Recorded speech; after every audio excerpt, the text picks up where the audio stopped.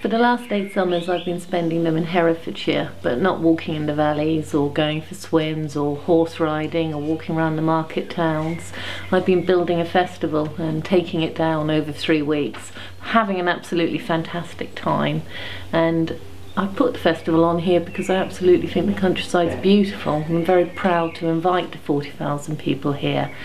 But every summer, I've always looked out that cabin window while we've been building, thinking, I want to go out there, I want to have a holiday here. It's my second home, but I feel it's about time I spend some time relaxing here and chilling out and holidaying, like I try and persuade 40,000 people to do every year. And then from there, I think it's the gentleness that I love so much.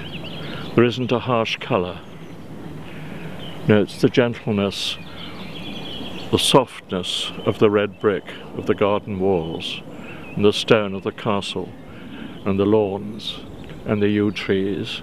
It, it's just so utterly English, and yet it was created by an American with his money only 20 years ago. This is the Coningsby Hall, and this actually is early Victorian. What happened when the Arkwrights had this place in the 19th century, they changed almost out of recognition the genuine old medieval Great Hall, and they decided they'd better build themselves a new Great Hall. Well, we moved here in 84 and planted the vineyard in 85, the main part of it. It was a cider orchard before, so we had to take down the remaining trees and um, uh, put in um, drainage and so on because it's quite a clayey sort of soil. And then um, uh, we started planting in spring of 85. Crop. Your first crop's usually a small crop and we only had uh, a few hundred bottles. So what we didn't drink ourselves or give away to family and friends, we uh, sold locally. People come and visit the vineyard and buy a few bottles sort of thing, you know.